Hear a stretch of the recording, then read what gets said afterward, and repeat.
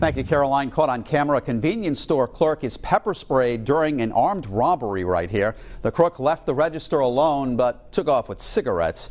Eyewitness News reporter Sheena Lasciuto spoke with that clerk. She's here now live in Fall River with more. Sheena?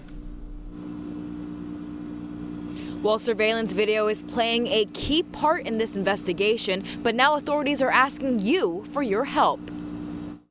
A convenience store clerk left on edge after he says a young man pepper sprayed him before taking off with cigarettes. Surveillance video we obtained shows a suspect staying at the counter for a total of more than three minutes while the victim is reeling from the attack.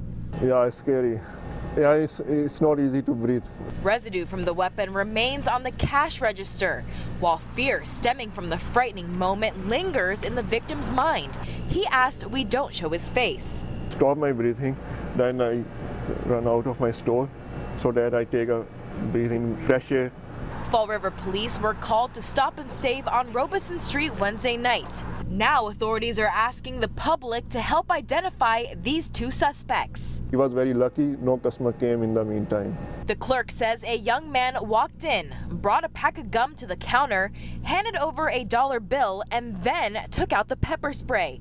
While it appeared a second suspect was keeping watch outside the door.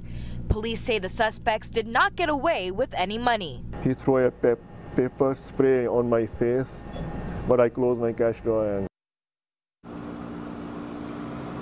And as always, if you have any information, Fall River Police are asking that you contact them. Reporting live in Fall River, I'm Sheena Lasciuto, Eyewitness News.